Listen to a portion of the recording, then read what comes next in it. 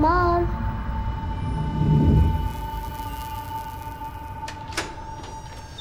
Julie, what's the matter? I locked myself out.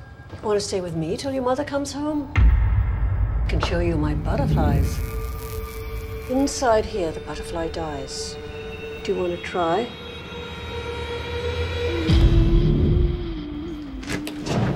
Oh, Julie, you had me so worried. Was wondering if you wouldn't mind watching Julie while I'm away. If it's no trouble. That'd be fun. You're a wonderful person, Ann, and you've done so much for Julie. Mom told me your daughter died young. Your mom tells you a lot of lies, you know. Julie, I told you never to go into that room.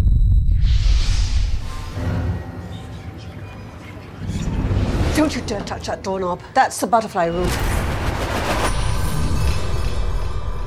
Uh, just help me move some furniture. No man has ever entered there. Did she do anything bad to you? She doesn't lie to me like you. I gave you my Julie to look after, and you turned her against me.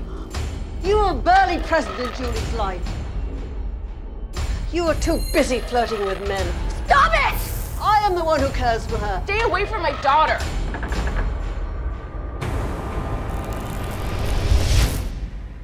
Julie? Julie? Mom, look.